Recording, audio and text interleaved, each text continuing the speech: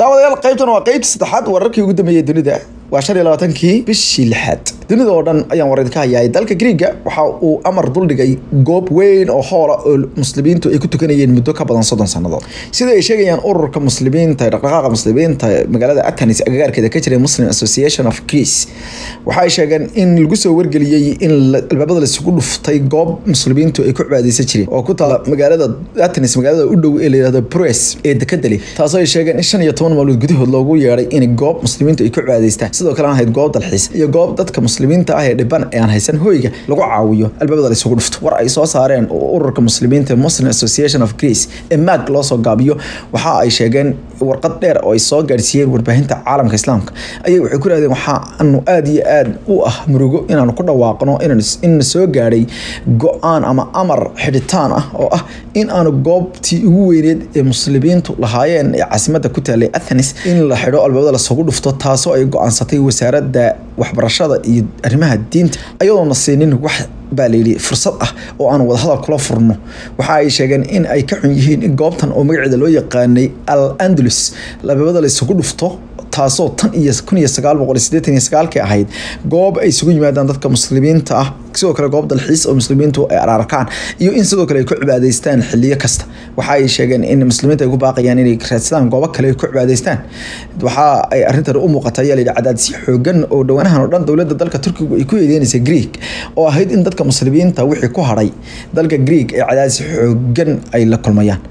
Waxaana wakaalada wararka loo yaqaano the international quran news agency ay sheegtay in ay arintan ay tahay arrin laga gilgisho oo dadka muslimiinta haddii goobta waxyaalaha loo xidhay ay ka mid tahay in dhaqaale lagu leeyahay ay bixiyaan sida uga sahar badana loo badbaadiyo maadaama ay tahay goob cibaado ay muslimiinta ku soo bi jireen daawadayaal madaxweynaha faransiiska ayaad ogeydeen hadalkiisii kululaa waxaa ka dhashay hadallo weerar iyo warcelis waxaana weli sii socda xiisada labada dal ee turkiga iyo dalka faransiiska.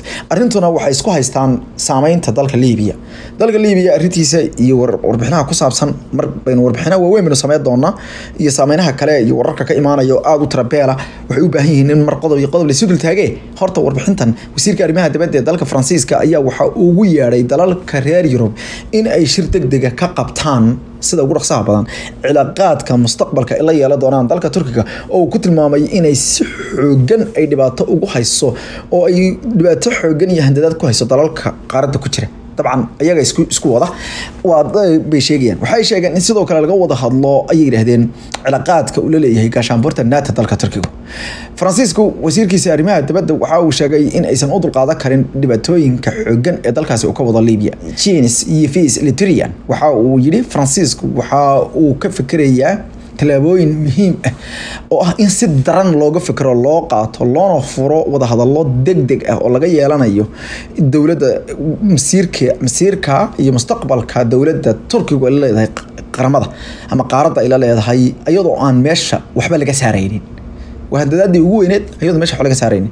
Taasoo aan ahayn ayuu yidhi in aysan danaysi naga ahayn laakiin ay naga tahay ayuu yidhi cilaaqaadka iyo masiirka dhabta ah iyo rajada la rabo in turkiga iyo e u ay wada yeeshaan. Wuxuu ankara ku eedeeyey inay qaadanayso tallaabooyin waaweyn oo isquweyn ah taasoo ay kaga maarmayso dalalka oo dhan islamarkaana ay dhinac marayso dhinacyada.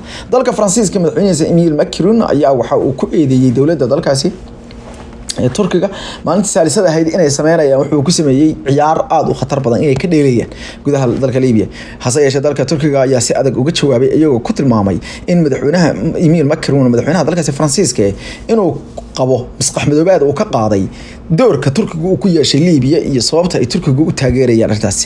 Waxaan u baahannahay in la kala caddeeyo ayuu yidhi. Kala caddaynta aan u baahannahay waxaa weeye doorka turkiga uu iyo ujeedka uu ka leeyahay ee uu ka ciyaarayo gudaha dalka libiya ayuu yidhi litrian warqadda uu diray dalalka markaasi qayladhaanta u diray.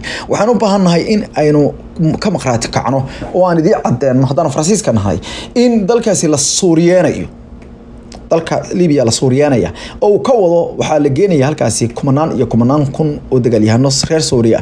Taasi waxay muujinaysaa ujeedka dhabta ah ee ankara ay u keentay kumanaanka kun ee qof in ay doonayso halkaasi inay suuriyeeso kuna yeelato tallaabo iyo weliba muxuu yidhi saameyn aada u baaxad weyn mustaqbalka dhow.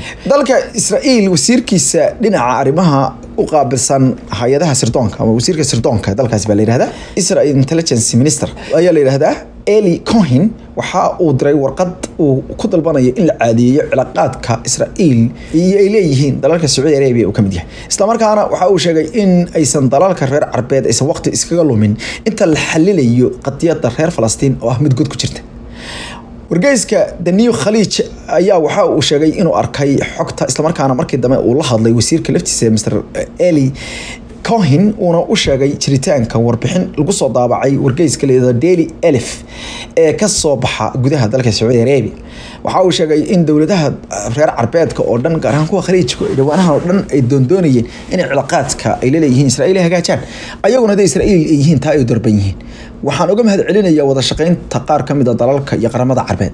Waxaa sidoo kale muhiim ah in uu muhiimada dhan la saaro ayuu yidhi amniga iyo cilaaqaadka dhinaca ammaanka oo dhinac looga soo wada jeesto cadowgeena guud ee aanu leenahay oo ah iiraan ayuu yidhi. Waxaa inoo muhiima in aynu sidoo kale ilaashano danaha wada shaqeyneed ee dhinaca dhaqaalaha oo ay ku jiraan dalalkan oo lagu daro israa'iil. Ayuu yidhi waxaa weeye tan waa tan aynu ka wada shaqey karno. Sidoo kalena waxaynu hangool faraaraleys kaga qaban karnaa. Cadowga aynu wada yeelanay ee inagu soo haliilaya ee iiraan ayuu yidhi. Waxa uu sheegay in ay sii wadi doonaan cilaaqaadka ay laleeyihiin dhanka kalena wuxuu sheegay in reer falastiin ay laba dooq kaliya haystaan inay nabadda ka soo horjeestaan iyo inay nabadda qaataan. Oo uu sheegay inaysan hadeerta uusan jirin.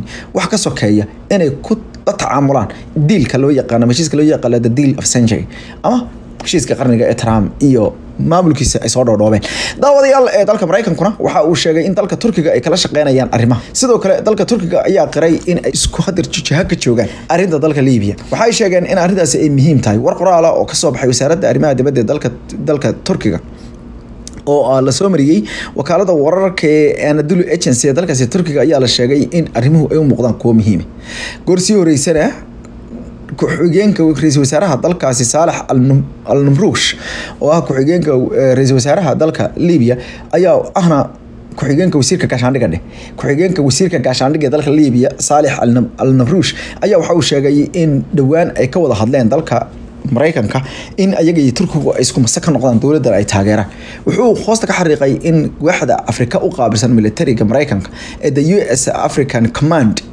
ee africom la yiraahdo saldhigga weyn ee maraykanka uu ku leeyahay qaaradda afrika iyo dalka ay gaashaanbuurta naato ku wada jiraan ay ka wada hadleen in deegaanka la yiraahdo al-jufra oo uu ku tilmaamaya cabdilfataax al-siisi meelaha khadka guduudana ama khadka cas haddii la soo jeeraa saldhiggaas in la siiyo dalka maraykanka si arrinta loo qaraabeeyo warka loo qaraabeeyo arrintan ayuu ku sheegay in maraykanku u riyaaqay in saldhiggaas marka la xoreeyo lagu wareeji doono ayagoo ay noqon doonaan saldhig ay halkaas ku yeeshaan.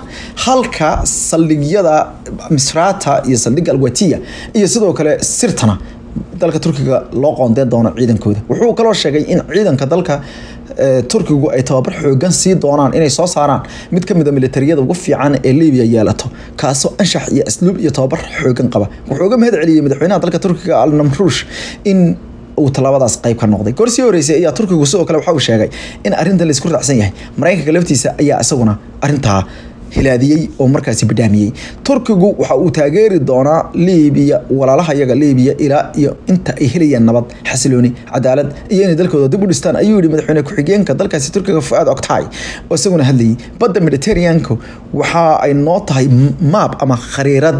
Aana lagu siri karin kaasoo dhulka yaga aan lagu gogoo karin ayuu yidhi.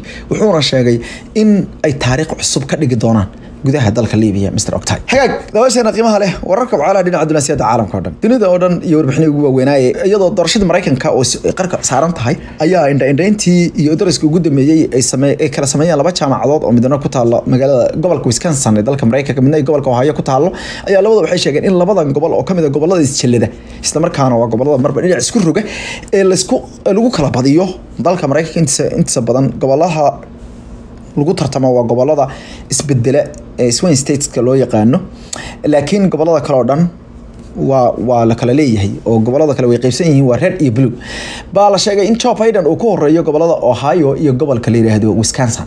Jaamacadda marcute university ee wisconsin waxay sheegtay in khilaadin ay qaaday. Ay u muuqato in trump lagaga horeeyo gobolka wisconsin iyadoo boqolkiiba afartan iyo lix dadka la weydiiyey ee u diiwaan gashaan inay codeyn karaan. Ay sheegeen inay doonayeen inay codkooda marakan siiyaan. Madaxweynaha cusub ee maraykanka ninka noqon kara mr biden. Iyadoo trumpna uu haysto boqolkiiba afartan iyo saddex. Sidoo kale waxaa la sheegay dadka in la weydiiyey bal siday u arkaan sida madaxweynuhu u maamulayo arrimaha dhinaca shaqooyinka. Boqolkiiba shan iyo afartan ayaa ogolaaday in madaxweynuhu shaqo wacan hayo. Kolka ay noqoto dhinaca shaqada. Halka boqolkiiba konton iyo kow oo lix boqolkiiba ka sarreysa intaas ay diideen oo yidhahdeen madaxweynuhu shaqo fiican ma hayo. Dhinaca gobolka ohio ayaa la sheegay dadku inay iyaguna boqolkiiba afartan iyo afar ay doonayaan in madaxweynaha cusub u noqdo madaxweyne joe biden iyadoo boqolkiiba afartan iyo saddex. Halkaa waa la isku dhegan yahay. Laakiin waxaa la sheegay inay tani tahay guul aada u weyn iyadoo gobolkaasi uu xukumo mike dewin oo isagu ninkii ku guuleystay gobolka governatorihii gobolka uu yahay republican ama jamhuuri. Sidoo kalena boqolkiiba sideed dhibic ama sideed dhibcood waxaa loo yaqaana dhibcaha uu sannadkii doorashada ugu dambeysay madaxtinimada oo madaxweynaha mareykanka gobolka ohio ka helay. Ohio waa gobollada ugu badan ee go'aamiyey cidda madaxweynaha ka noqonaysa dalka mareykanka. Hay'adda mareykanka u qaabilsan arrimaha socdaalkana waxa ay ku dhawaaqday in ay boqolkiiba toddobaatan shaqaalaheeda caydhinayso iyadoo hadda aynu ka sheekeynanay wararkii hore uun in dhaqaalaha adduunka gaar ahaan kan mareykanku aada u leecayo hay'adda the u s citizenship and immigration services u s c i s waxa ay sheegtay waaxdeedu in boqolkiiba toddobaatan dadka shaqaalaha ay shaqada ka buri doonto haddii aan la soo gaadhin badbaado dhaqaale ayagoo sheegay inay dalbadeen lacag gaadhaysa dhibic hal laba bilyan oo doolarka mareykanka in koongareeska uu ansixiyo si looga fogaado in shaqaalaha la buriyo waxaa la yidhi inta aynu ku jirno ilaa labada bisha luuliyo ama ka horba labada bisha luuliyo. Bisha dambe waxaynu cayri doonaa ama shaqada ka joojin doonaa saddex iyo toban kun afar boqol oo qof oo shaqaalaha haddii aanaa helin ayaa layidhi lacagta in u baahannahay ayaa lagu yiri afayeen u hadlay ayaa saa sheegay hay'adda i s. Waxa uuna uu sheegay in ay sidoo kale ay muhiim tahay in dadkaas marka xilliga ogeysiiska la ogeysiiyo in saddexda agosta shaqada laga buri doono. Waxa ay sheegtay hay'addu inay lacag badan ka samey jirtay. Dadka maraykanka soo gala oo waxay yidhaahdeen lacagta fiiga ah laga qaado dadka ama lacagta laga khidmadda ah laga qaado dadka dadkooda keenaya inay lacag balaayiin doolar ka samey jireen taasoo yaraatay ilaa iyo sanadihii ugu dambeeyey siina darsatay intii uu madaxweyne trump uu qabsaday. Kana sii dartay baa layidhi markii xanuunka faafaha daran uu yimid adduunka o dhan uu qabsaday qodobka ugu dambeeyana daawashana qiimaha leh aan ku fiirina warbixintana waxaa weeye dalka Indonesia waxa uu dhisayaa caasimad caasimadii hore ayay doonayaan dalka inay ka guuraan magaalada Jakarta ahayd waxayna u guureen gobolka dhinaca bari ku yaalla Kalimantan la yiraahdo.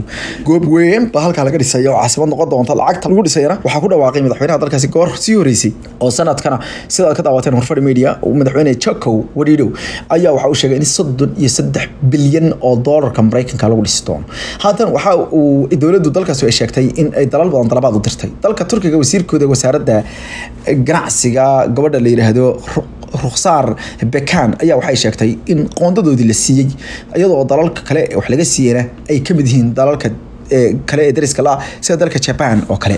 Waxay sheegtay in ay u diyaar garoobay in shirkadeeda dhinaca dhismuhu ay qaataan qayb libaaxle oo arrintaas ku saabsan. Dalal kale ayaa iyaguna magaalooyin cusub dhisaya sida ay sheegaysa wasaaraddu oo ay ka mid yihiin dalalka Vietnam iyo dalka Philippines oo iyaguna siiyey malaayiin doolar oo ah qandaraas dowladda dalkaasi turkiga oo dhinaca dhismayaasha ka mid ah dalalka haatan ugu hogaaminaya caalamka sida wax loo dhiso ama shirkadaha waaweyn wax dhisa. Iskale intaa ku joojiyo amaana allah